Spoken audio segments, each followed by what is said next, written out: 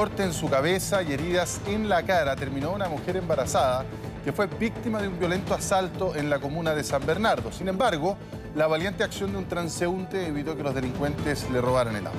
Rodrigo Ugarte con el informe de apertura. Son cerca de las nueve y media de la noche y esta mujer embarazada de siete meses espera dentro de su auto BMW para bajarse a abrir el portón de su vivienda, pero no espera por casualidad. Veo que se acerca como un B16 color azul y decidí quedarme un poco más en el auto, pero vi que iba a doblar así que mm, me bajé con confianza. Graso error. Fuera del alcance de su vista, el vehículo sospechoso se detiene y dos delincuentes corren hacia ella.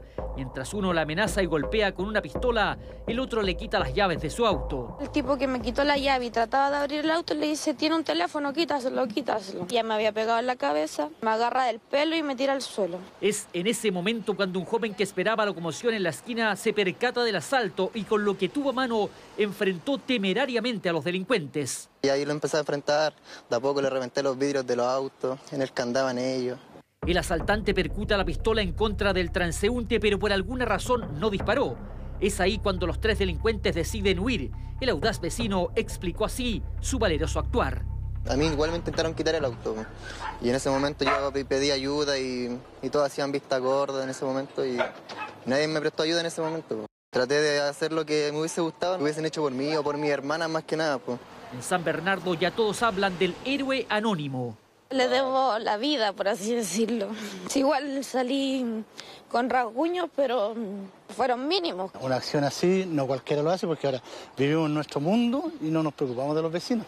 40 minutos después del asalto frustrado, Carabineros, sin saberlo, detecta un auto sospechoso que se da a la fuga. Tras la persecución, se logró la detención de dos de sus tres ocupantes.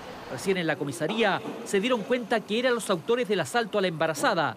Fueron reconocidos por la víctima y por testigos. Se trata de un menor de 17 años con un amplio prontuario y orden de detención pendiente y de un sujeto de 21 años también con varios delitos a cuesta.